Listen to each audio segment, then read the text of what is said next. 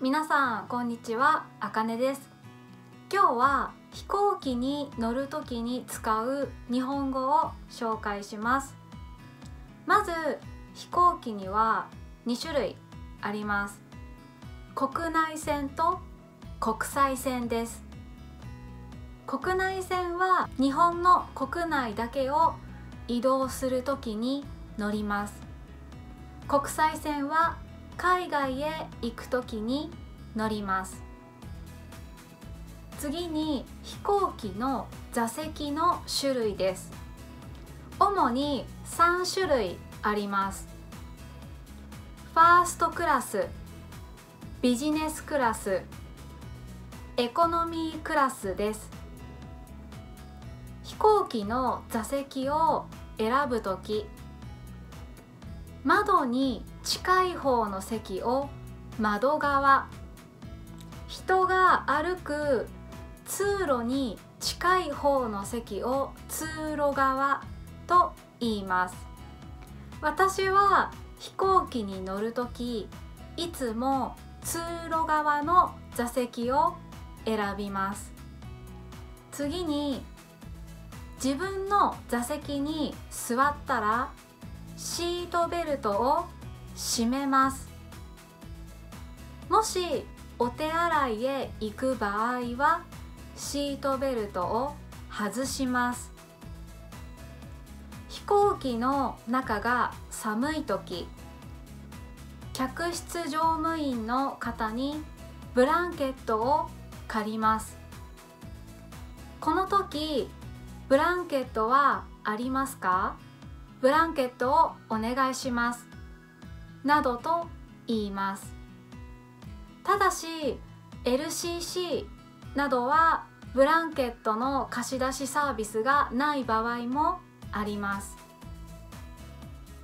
飛行機に乗ると飲み物のサービスがある場合があります。客室乗務員の方がお飲み物はいかがですか？と聞きます。もしコーヒーを飲みたい時はコーヒーをお願いします。お茶が飲みたい時はお茶をお願いします。客室乗務員の方が温かいのと冷たいのとどちらになさいますか？と聞きます。もし温かいのがいいなら温かいのをお願いします。と言います。コーヒーの場合はホットかアイスどちらになさいますか？と聞かれることが多いと思います。もし冷たいコーヒーが飲みたい時はアイスでお願いします。と言います。国際線の飛行機に乗るとこのような機内食が出る場合があります。機内というのは飛行機の中という意味です。なので機内の食事ということで機内食と言います。最後に飛行機が地面から飛ぶことを離陸と言います。離陸する離陸する飛行機が地面につくことを着陸。着陸すると言います。よく離陸する前にこのようなアナウンスがあります。当機は間もなく離陸いたします。シートベルトをしっかりお締めください。冬季というのはこの今乗っている飛行機のことです。はい。今日は飛行機に乗る時によく聞く日本語使う日本語を紹介しました。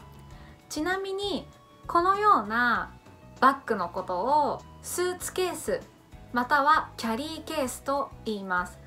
私はよくスーツケースと言います。